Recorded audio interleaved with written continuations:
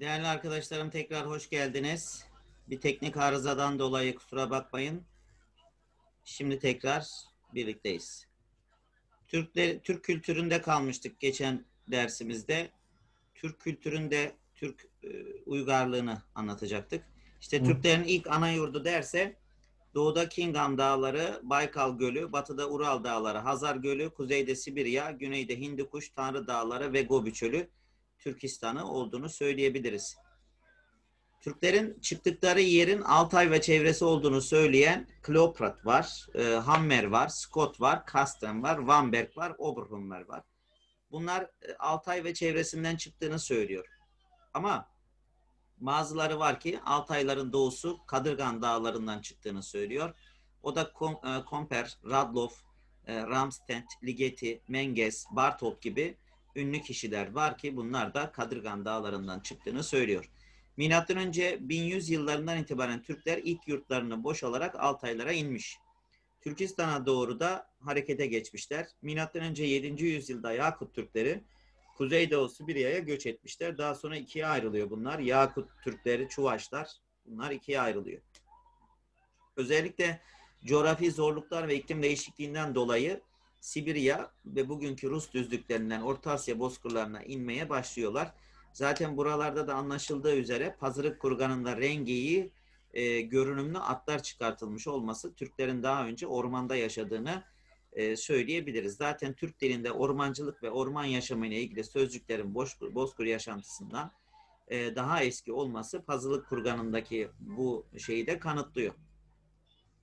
Türk adının anlamları e, çıkan sorulardan Türk adı ilk defa milattan önce 14. yüzyılda Çin kaynaklarında Tik ve Tikler adıyla geçmeye başlamış.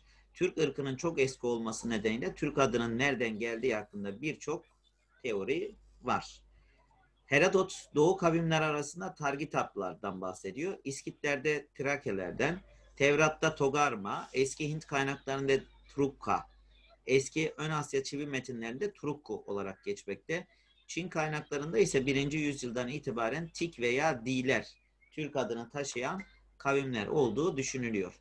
İslam kaynaklarında yer alan İran menşeitli Zend Avesta ise Turaç olarak geçiriyor. Nuh'un 3. oğlu Yafes'in 8. çocuğu Turaç'tan bahsediyor. Değerli öğrencilerim, Türk kelimesi ilk defa önce 1328 yılında bu not alınabilir. Türk kelimesi ilk defa milattan önce 1328 yılında Çin tarihinde Tukiye şeklinde geçmektedir. Vanberg 1879'da Türk adını türemek olarak söylüyor. Kaşgar Mahmut Divan Lügat'ın Türk adlı eserinde Türkiye Olgunluk Çağı adını vermiş. Ziya Gökalp ve Bartolt töre sahibi diyor. Fransız dil bilgini Louis Bazin'e göre törük yani var olmuş, şekil kazanmış. İran kaynaklarında güzel insan, Çin kaynaklarında mikfer, İbnül Fakih ve Gerdizi gibi İslam kaynaklarında bazı e, tarih kitapları terk edilmiş adamı yazıyor ama hangi kaynakla geçtiğini söylemiyor. İbnül Fakih ve Gerdizi'nin kaynaklarında terk edilmiş adam. Müller'in e, Türk sözüne olgunluk zaman ortası vakit anlamına geldiğini ifade ediyor. Uygur Türklerin de güç, kuvvet, kudret, nizam sahibi olgunluk çağı, Dorfur'a göre ise devlete bağlı halk demektir. Evet. Devlete bağlı halk demektir. Bunu da burada düzeltebiliriz. Devlete bağlı halk demek. Bazı Avrupa kaynaklarında takye yani deniz kenarında oturan adam olarak da geçiyor. Herodot Türk adının anlamını İskit Türklerinde deniz kenarında oturan adam olarak geçtiğinde söylüyor. Herodot deniz kenarında oturan adam olarak da Türk adına anlam vermiş. Çinlilerin Kaoçe dedikleri yüksek arabalı kavim olarak da söylediğini görüyoruz. Türk adını devlet adı olarak ilk kullanan Göktürkler bunu biliyoruz ama diğerleri de Türgiş, Türkmenistan, Doğu Türkistan, KKTC, Türkiye Cumhuriyeti'dir. Coğrafi ad olarak ise Türkiye tabiri ilk kez Bizans kaynaklarına rastlanıyor. 6. yüzyılda Orta Asya'ya, burası çok önemli. 6. yüzyılda Orta Asya'ya, 9. ve 10. yüzyılda Orta Avrupa'ya, 12. yüzyılda Anadolu'ya, 13. yüzyılda Mısır ve Suriye'ye Türkiye adı verilmiş. Türkiye adının orijinali ilk kez 12. yüzyılda İtalyanlar tarafından Orta Latince'de kullanılan Turcia veya Turkmenia şeklinde olmuştur. Bunların yanı sıra Orta Çağ'ın Alman seyyahları bölgeye Türkiye veya Tirkentland şeklinde, Fransızlar ise Turguve şeklinde söylediklerini görüyoruz. Evet, Türk kelimesi Macarları da temsil ediyor. Ee, Patrik, Patrikhaneler Macarlara Türk demişler. Osmanlı Devleti'nde ise ilk defa Namık Kemal ve Ali Suavi Türkiye, Türkistan, Türkland şeklinde Türkiye adı kullanmışlar. İkinci meşrutiyetle birlikte yeniden Türkiye ve Türkistan şeklinde isimlendirmelerde artış olmuş. Ziya Gökalp'in ünlü Turan şiirinde bu dönemde yazmıştır. Vatan ne Türkiye'dir Türklere ne Türkistan, vatan büyük bir mübarek bir ülkedir Turan diyor. Evet. Demek ki Osmanlı'da bunu ilk kullanan Namık Kemal ve Ali Suavi. Bunu da not ettik. Türk soyu, Türklerin bilimsel araştırmalar sonucunda brekesefal kafa yapısına sahip olduğunu, beyaz ırka mensup Europit grubuna mensup olduğunu da söylememiz gerekiyor. Uzun yıllar Batı kaynakları Türklerle Moğolları aynı ırk içinde değerlendirmiş. Ancak son yapılan araştırmalarda gerçeği yansıtmadığı anlaşılıyor. Millet ve devlet adı olarak Türk kelimesi Çin'de Chao döneminde geçer. Tukuya şeklinde geçmiş. Şurayı not edebiliriz. Milattan sonra 585'te Çin İmparatoru'nun Göktürk Kağan'ı İşpara'ya yazdığı mektupta bunu bir ÖSYM sorusundan almıştım ben. Büyük Türk Kağan'ı diye hitap etmiş. İşpara Kağan'ı ise Çin İmparatoruna verdiği cevapta Türk Devleti'nin Tanrı tarafından kuruluşundan bu yana 50 yıl geçti hitapları Türk adını resmileştirmiştir. İslam öncesi Türkler hakkında bilgi veren taberi var. Hendek Muharebesi hazırlıkları sırasında Hz. Muhammed'in bir Türk çadırında kaldığını söylüyor. Müslüm ise Hazreti Muhammed'in e, Türk çadırına itikafa çekildiğinde rivayet ediyor. Yani dinlenmeye çekilmiş. Türk-Arap münasebetleri bu şekilde münferit ve tedrici bir gelişme göstermek suretiyle başlamış. Fakat zaman zaman mukavemetler de olmuştur. Yani mukavemet ne demek? Mukavemet ne demek?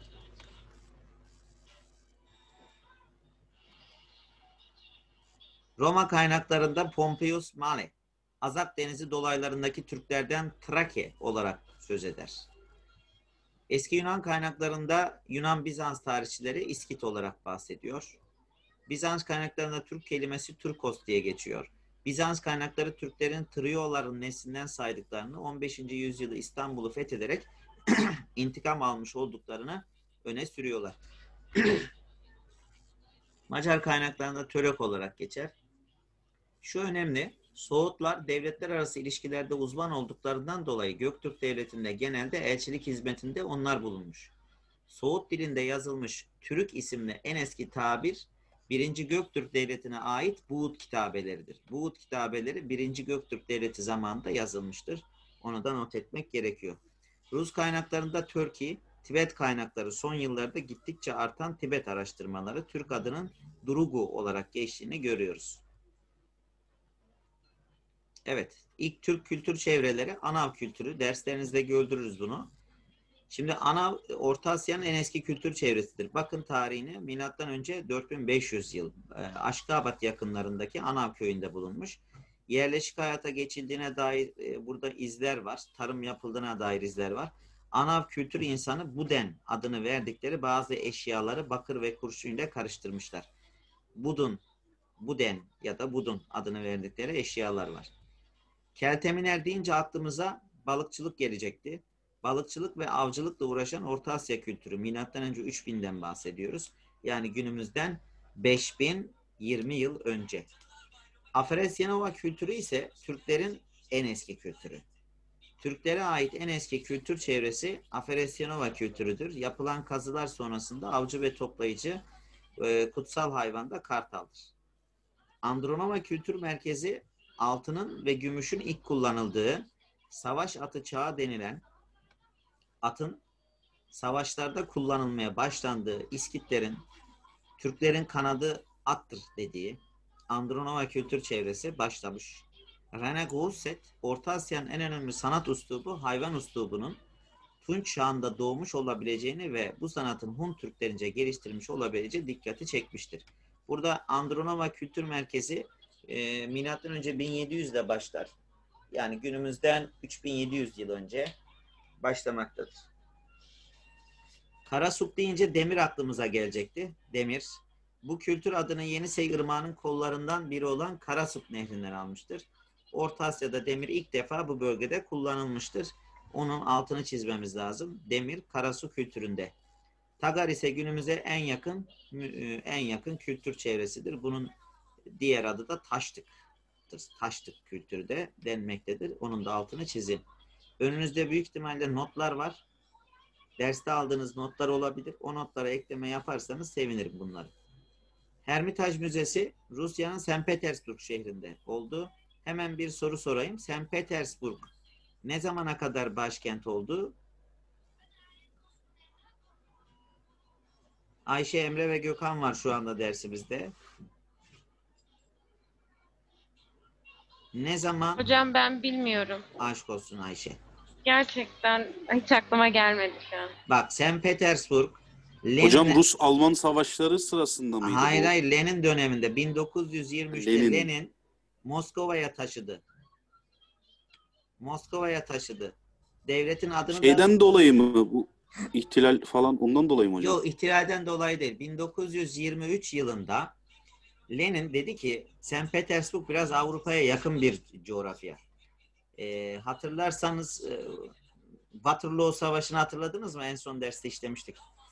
Rusya'ya doğru gelmişti Fransa. O zaman St. Petersburg'tu başkent. E, tehlike bizim aynı İstanbul gibi.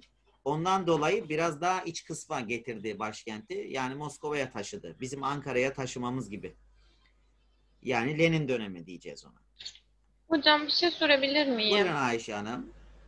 Ee, şimdi bu altın elbiseli adam falan var ya o hangi kurganda bulunmuş? Altın elbiseli adam zırhı Esik Kurganı'nda bulunmuştur. Tamam hocam E, teşekkür e, ederim. rica ederim Ayşe'cim. Şöyle bir durum da var.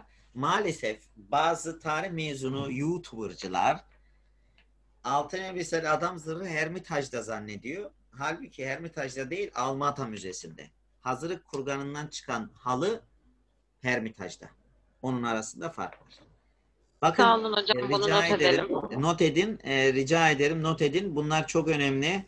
Rusya'nın St. Petersburg'daki Hermitage Müzesi Çariçe Katarina tarafından kurulmuş. Ancak 1852 yılında kamunun hizmetine açılmış. 3 milyon sanat eseriyle dünyanın en fazla koleksiyonu olan müzedir. Hermitage Müzesi'nde Türk kurganlarından çıkan birçok sanat eseri de bulunmaktadır. Türk göçlerinin sebepleri. Türk göçlerinin sebepleri. Neden Türkler göç ediyor? Temel sebebi hayvan hastalıkları ve otlak yetersizliği. Otlak ve tarım alanların daralması, toprakların artan nüfusa e, yeterli olmaması, boylar arası mücadele, Moğol ve Çinlilerin baskısı, Türk boylarının birbirine bağlılığı. Göç eden bir boy diğer boyları takip ediyor. Yani ben arkadaşımsız yapamam, bu sınıfı terk etmek zorundayım. Lisede vardır ya, Hani arkadaşın öbür tarafa geçmiştir. Ben niye buradayım diye. Yeni yurtlar edinme düşüncesi. Milattan önce Türk göçleri Altay ve Tanrı Dağları'na milattan önce 1700'lü yıllarda başlar. Kazakistan ve Maveraün Nehir'e, oradan Kansu Ordos bölgelerine. İskitler milattan önce 8. yüzyılda Orta Asya'dan Tanrı Dağları ile Hazar Denizi arasındaki İtil ve Tuna nehirleri arasına göç etmişler.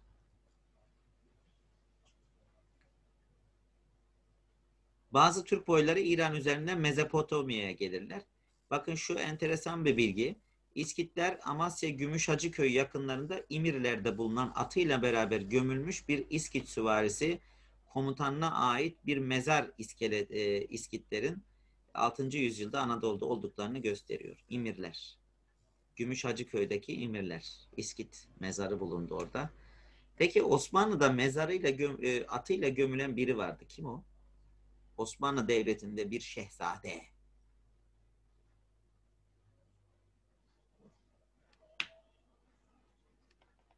Evet, söylüyorum cevabı. Süleyman Paşa. Orhan Gazi'nin oğlu Süleyman Paşa. Milattan sonraki ilk göçler 13 büyük göç oldu. O göçleri biliyoruz. Zeki Veledi Togan Türk göçlerinin fütuhat ve intişar gelişi güzel yayılma şeklinde iki koldan meydana geldiğini söylemiştir. Fütüvet ve intişar.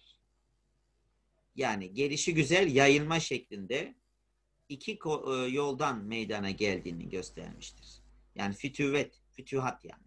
E, fetih amacıyla, bilerek ve isteyerek. Diğeri de intişar, gelişi güzel. Türklerin Anadolu'ya ilk gelişleri Hunlar tarafından oldu. Onu daha önce söylemiştik. Ulduz döneminde Anadolu'ya 4. yüzyılda Basık ve Karasık adlı iki komutan gelmişti. Daha sonra Sabarlar geldi. Sabar Sibirler Ankara'ya, Kastamonu'ya kadar geldiler. Daha sonra 1018'de Çağrı Bey 3000 süvariyle Anadolu'ya yerleşme akınları geldi. Bu göçler sonrasında neden olduğunu biliyorsunuz. Bakın Türklerin dünya medeniyetine katkıları var. Milattan önce 2500'lerde Çin'in kuzeybatısına göç eden Türkler bölgeye atı ve koyunu götürdüler. İlk defa eski Türkleri atlı arabaları Çin'e götürdüler.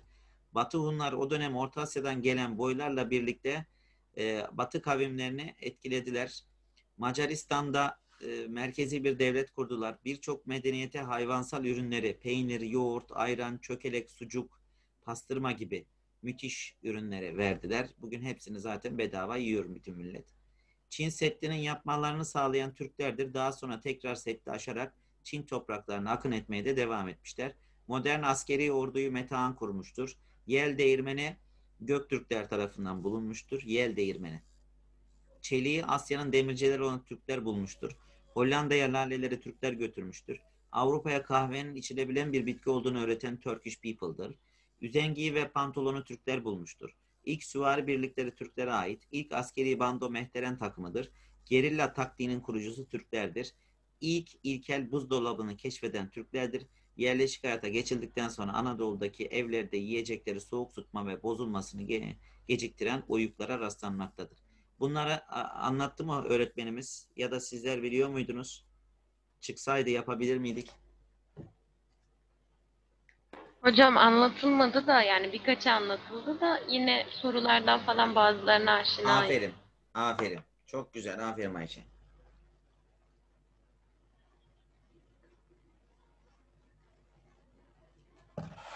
Artık İskit Saka'ya gelebiliriz. Değerli öğrencilerim, şunu söylemek istiyorum. Ee, şöyle yazayım bir dakika. Çizme değil de şöyle bir yazma istiyorum. Text. Evet. Şuraya yazmak istiyorum. Şimdi e, Orta Çağ ne zaman başlıyor?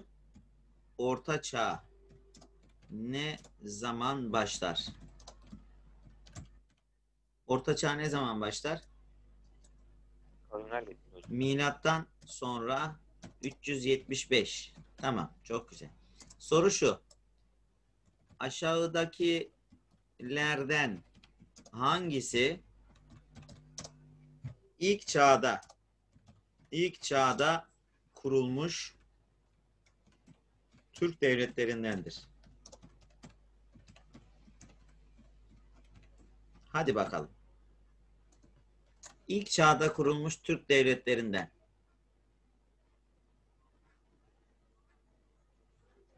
Bir soru yani şık verin hocam diyeceksiniz büyük ihtimalle. Şık veriyorum. A. Oğuzlar. Oğuzlar. B. Göktürkler. Göktürk. C. Uygurlar. Uygur. D. e, Kıpçaklar. Kıpçaklar. E. İskitler. Evet cevap ne?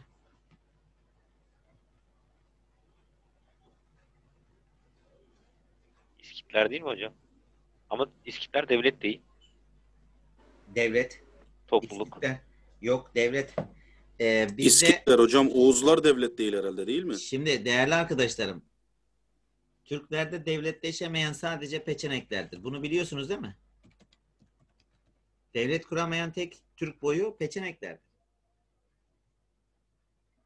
Bizde şu kelimeler aynıdır. Topluluk, topluluk, boy, boy ve devlet. Yani en küçük devlet şekillenmesine, en küçük devlet şekillenmesine ne deniyor? Boy deniyor. O zaman şu ne? Hun devleti mi diyoruz biz? Hayır. Hun imparatorluğu. Neden? Çünkü Hunlar birçok boyu birçok boyu içerisinde barındırıyor. O nedenle imparatorluk diyoruz. Yani devletin üstünde imparatorluk vardır. Türkiye imparatorluğu niye demiyoruz şu anda? Çünkü Türkiye Türklerden oluşan bir devlet. Evet. Bunun cevabı İskit. Bir de Hunları ekleyebiliriz. Hunlar. Yani şu iki devlet, şu iki devlet ilk çağda kurulmuş devletlerimiz. Anlaşılmıştır. Soru gelsin. İlk Türk topluluğu hangisidir? İskitler. İlk Türk devleti hangisidir?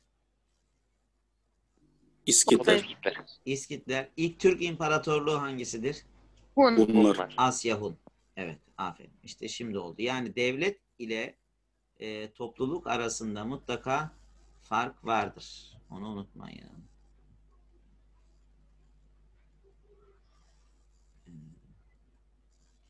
Şimdi İskit Saka'ya devam ediyoruz. Atatürk'ün incelettiği eski Türk kavimleri arasında İskitler ön sırada. İskit Sakalar Atatürk'ün Avrupa'ya gelen ve ilk Avrupa devletini kuran Türkler olarak tanımlamıştır. Avrupa'ya gelen ilk Avrupa devletini kuran, ilk Türk Avrupa devletini kuran Türkler. Bakın haritayı belki ilk defa görüyorsunuz. Yani e, dikkat edin şuraya. Nerede o kalemimiz?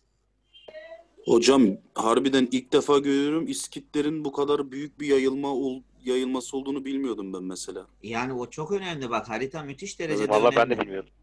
Çok Bakın- iyi yayılmışlar hocam gerçekten. Evet, müthiş bak Hani şimdi. ilkin şey dediniz ya hocam Anadolu'da 6. yüzyılda falan mesela zaten e, Kuzeydoğu Anadolu tarafına girmişler yani. Girdi bak Amasya Şey, işte hep aynen. şurası. Amasya Evet, bak. evet, Amasya evet, evet, şurası. Evet Ee, hocam gelmişler. Evet, e, Aral Gölü, bak Aral Gölü ve buradan şuraya kadar gelmişler İskitler.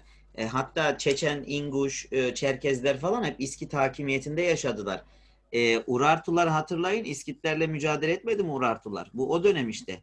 E, İskitlerin Perslerle savaşları var bu Hazar'ın güneyinde bak şurada, şu bölgede. Yani İskitler çok büyük bir imparatorluk, şey devlet. E, Türkleri almış içerisine. Şurada Kıpçak Kumanlar var. Şu şurada Oğuzlar var Hazar'ın kuzeyinde. Aral Gölü'nde şurada e, şey Türgişler falan var. Çok geniş bir alan yani.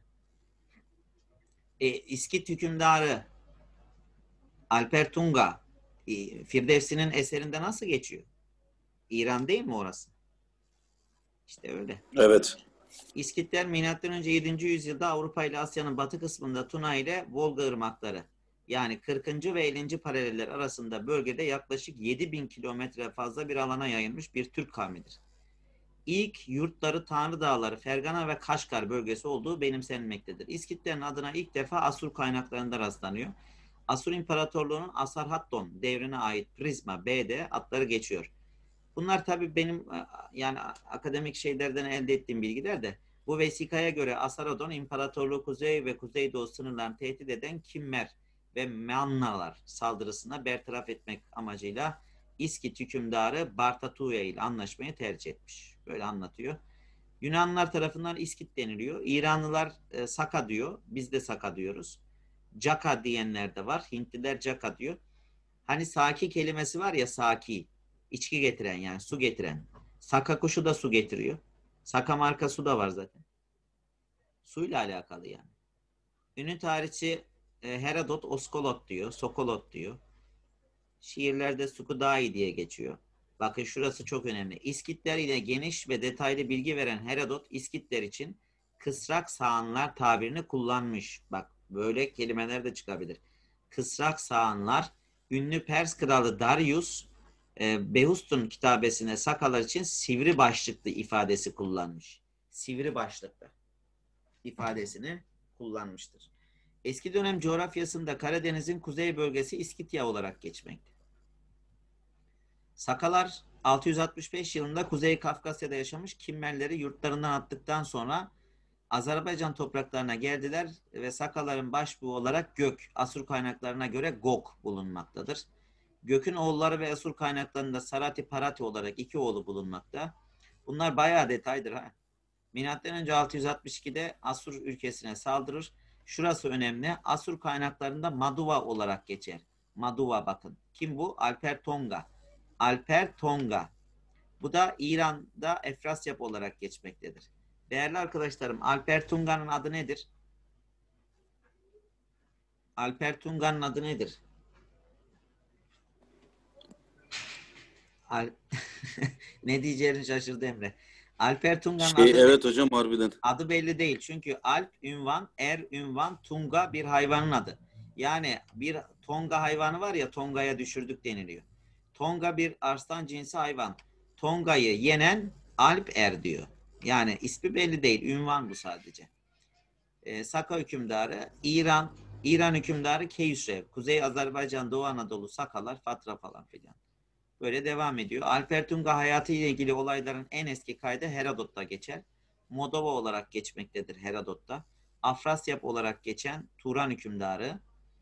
Divan-ı Lügat'ın Türk'te Kaşgarlı Mahmut, İranlıların Afrasyap dedikleri Türk beyinin yani Turan padişahı Ulu Türk Bey Alper Tonga olduğunu bahsetmektedir.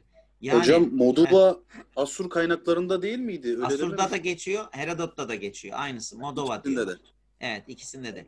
E, zaten Herodot'ta Asur kaynaklarından edindiği bilgiyi söylemiş. İkisinde de Modova diye geçiyor.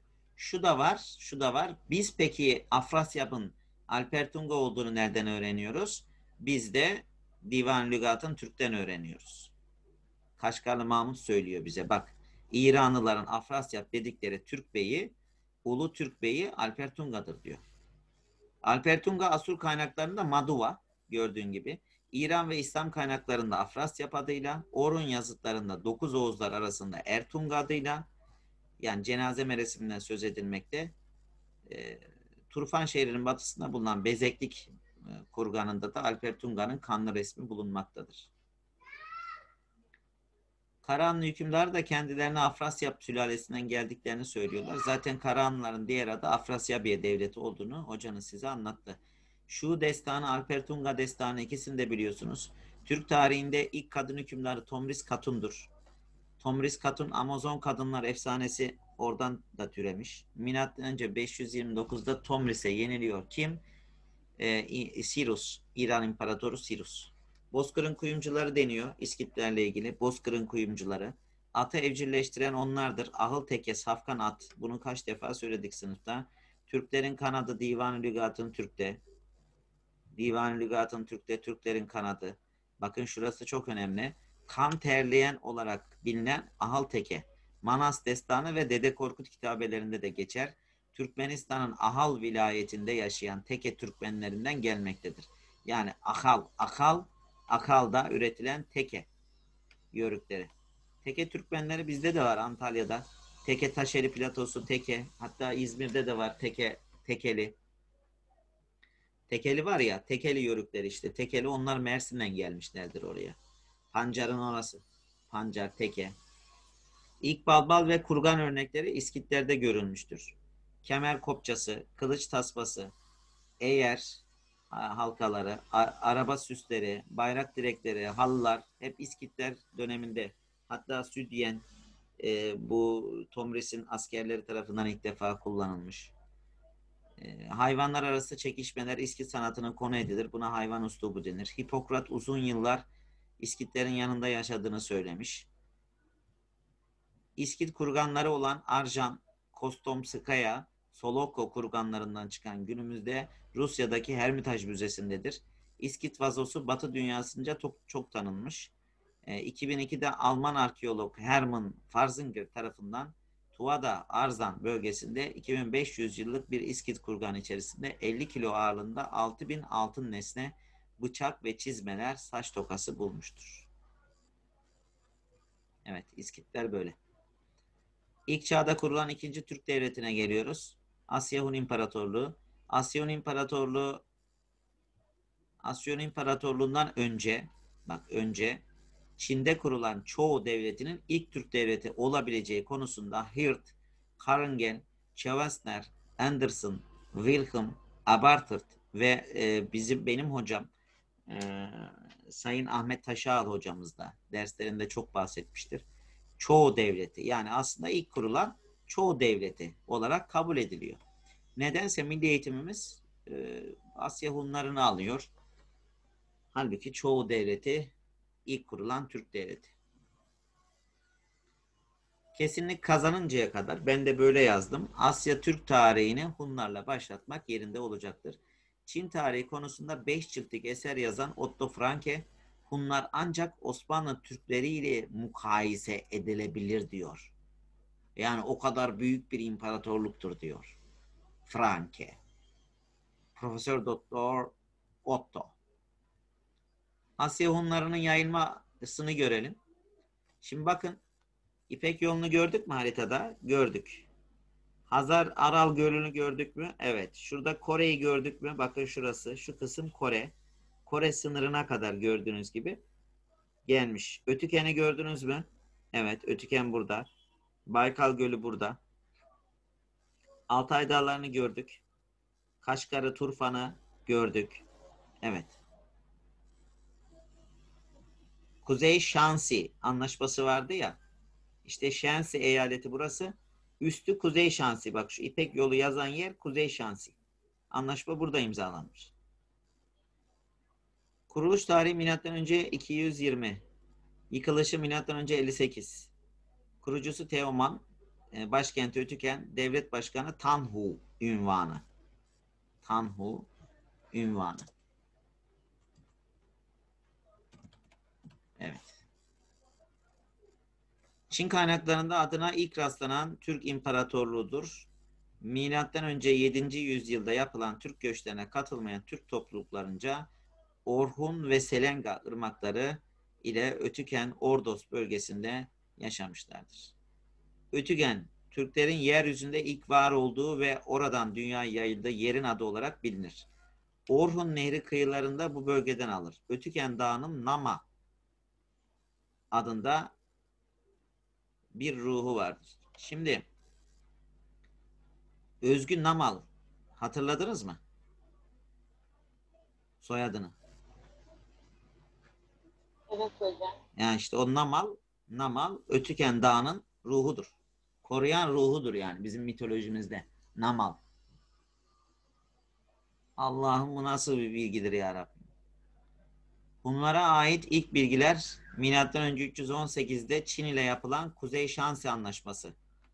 Hyungnu. Hun adı Hyungnu olarak geçer. Yani Kun, Kün, halk demektir. Halklar Federasyonu'dur. Teoman'ın adı Tuman'dır. Türk kaynaklarında Teo Çincedir. Shanyu ünvanını kullanır Teoman. E, Yüeçileri yenmiştir. Hikayesi var. Mete'ni sürgüne gönderiyor falan. Mete babasını öldürerek tahta geçiyor. Tanhu ünvanı var. Mete'nin Tanhu. Beytun. Beytun.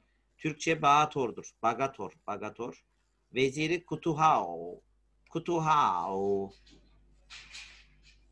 Çin kaynaklarında Motun olarak geçen hükümdar Türk tarihçileri Mete demiştir. Yanlış olarak okumuşlar. Mete, Moto diye okuyunca e, yanlış okunmuş. Bunun e, lehçesiyle Bagatur yani Bahadır Kahraman. Ayrıca Çağdaş Macar dilinde ve Bator veya daha eski şekli Batur. Ayrıca Türkmence'de Batır, Bahadır, Tuva Türkçesinde de Madır, kahraman kullanılmaktadır. Yüeçiler Riyen'e Mete İpek yolunun kontrolünü ele almıştır.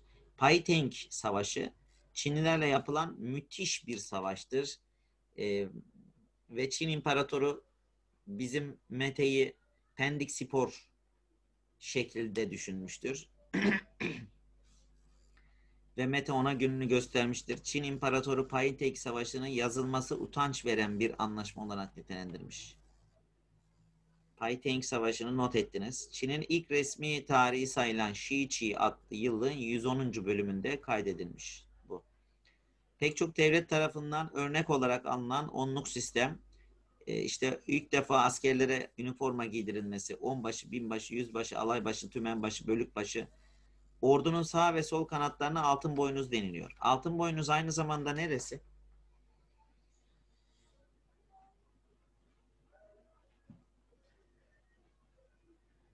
Emre, Gökhan ve Ayşe. neresi hocam? Ben bilmiyorum. Haliç, Haliç. Haliç'e altın boynuz denilir ya. Haliç'in adı altın boynuzdur Turkish people'ına göre. Haliç'in adı altın boynuzdur.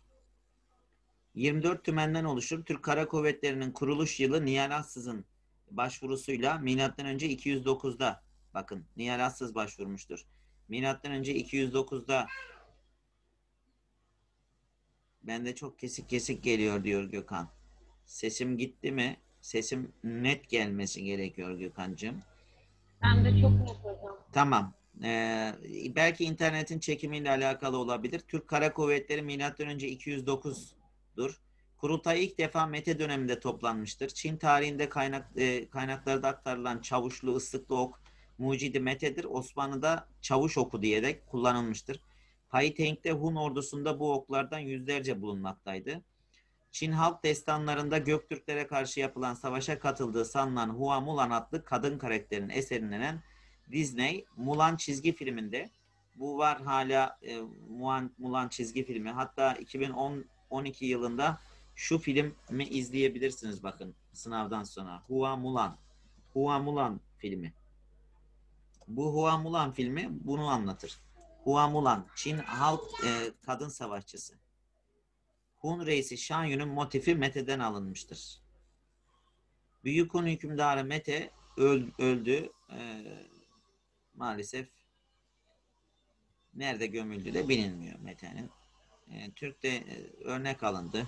Türk destanlarında Oğuz Kağan Mete'nin hayatını anlatır. Tankularla ısrarlı toprak istekleri karşısında toprak milletindir onu kimse veremez diyerek ilk defa vatan ve millet sevgisini ortaya koymuştur. Zırhlı atlar üzerinde muharebelere gidiyorlardı. Atların öteki tesisatları hakkında da açık bilgiler azdır ve bunlarda Hun adetlerine özenen Çinlilerin hatıralarından öğreniyoruz. Kiyok babası kadar idareli olmadı. Chang Kieng raporu var. Orada Hunların arasında uzun yıllar yaşamış bir ajan. Ardından Kun Çin dönemi yaşandı. Büyük Hunlar parçalandı. Batı Hunları Çiçi, Doğu, e, Doğu Hunları Hohanye. Daha sonra e, Doğu Hunları da ikiye ayrıldı. Kuzey ve Güney Hunları diye. Kuzey Hunları e, neyi başlattı? Kavimler göçünü başlattı. Hunların Katanda, Tuketa, Noyunula, Pazırık, Şibe, Esik kurganları var. Hermitage Müzesi'nde Pazırık kurganları birçok dini mitolojik eserler bırakmış. Esik ve Pazırık kurganları Hun sanatının izlerini taşıdı. Hunlar üç kez büyük ayinler yapar. Yılda üç kez büyük ayinler yapardı. Cenaze törenlerinde pil adı verilen kopuz çalmışlardır. Hun hükümdarları genellikle yüksek dağlara gömülmekteydiler. Mezarların içine giren suların çabucak dolmasıyla yüzyıllar boyunca cesetler çürümeden zamanımıza kadar gelmiştir. Ama Hun hükümdarlarının mezarlarını bulamadık. Pazırık halısı Gördes düğümüyle yapılmış. Manisa Gördes düğümüyle. Şu anda nerede? Hermitage Müzesi'nde bulunmakta. Grifon, arslan vücutlu, kartal kanatlı mitolojik bir hayvan. Hun sanatına yansımasıdır. Yani hayvanların avlanma sanatıdır. Esik kurganında bulunan altın elbiseli adam zırhı ise Almata Müzesi'nde bulunmaktadır. Oğuz Kağan destanı Hunlara aittir. Hunların halefteri yani Hunlardan sonra çoğu, ikinci çoğu Laing devletleri diye devam ediyor. Kavimler göçünü daha önce anlatmıştık. Şu da kavimler göçünün haritası. Bak Hunlar buradan başlıyor. Bitince hemen size link göndereceğim. Bir 5 dakika sonra link göndereceğim. Hunlar, Kuzey Hunları, Vandallar, Anallar diye böyle devam ediyor. Bakın bu harita e, çok önemli bir harita. Kavimler göçünün sonuçlarında da bildiğiniz gibi Avrupa tarihinde anlattım onu. Babacığım. Neyse.